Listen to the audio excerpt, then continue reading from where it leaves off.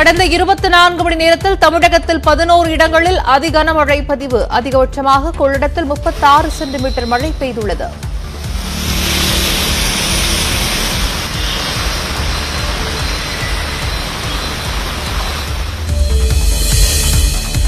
சென்னையின் பல்வேறு பகுதிகளில் பரவலாக பெய்த கனமழையால் குடியிருப்புகளை சூழ்ந்த வெள்ளம்.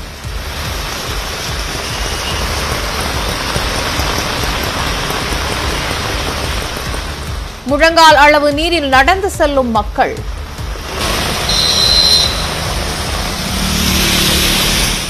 சாலைகளில் பெருக்கெடுத்த மழைநீரில் மிதந்து செல்லும் வாகனங்கள்.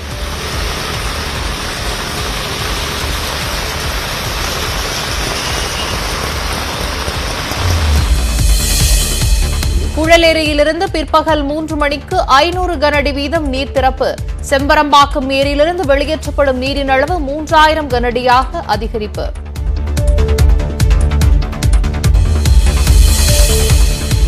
கனமழையால் சிதம்பரம் நடராஜர் கோவிலுக்குள் புகுந்த மழைநீர். தொடர் மழையால் கடலூரில் பிரதான சாலைகளில் போக்குவரத்து துண்டிப்பு.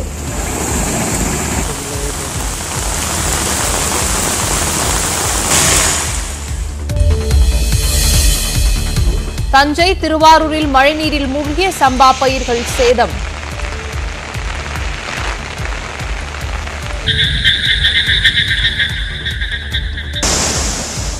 கோவையில் பஞ்சலிங்கேஸ்வரர் அருவியில் வெள்ளப்பெருக்கு.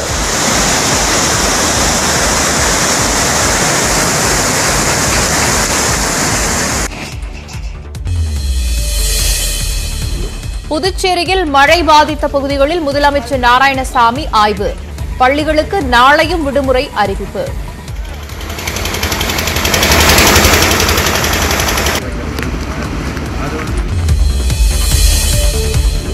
முல்லை பெரியாறிலிருந்து மதுரைக்கு குடிநீர் வழங்கும் திட்டத்தை தொடங்கி வைத்தார் முதல்வர் பழனிசாமி. அரசு செயல்படும் திட்டங்கள் எதிர்க்கட்சித் தலைவர் கண்களுக்கு தெரிவதில்லை என சாடல்.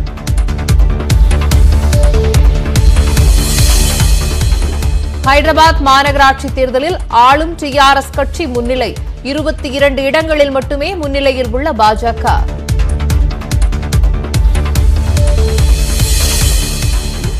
மருத்துவ பணியாளர்களுக்கே முதலில் கொரோனா தடுப்பூசி செலுத்தப்படும். அனைத்துக் கட்சி கூட்டத்தில் பிரதமர் நரேந்திர மோடி பேச்சு. முதல் டி டுவெண்டி போட்டியில் டாஸ் வென்ற ஆஸ்திரேலியா பந்துவீச்சு. ஆடும் லெவனில் இடம் பிடித்தார் தமிழக வீரர் Natarajan. Wait, wait, wait. Good delivery. Real good delivery. It's been interesting. We've been there. വടകിഴക്ക്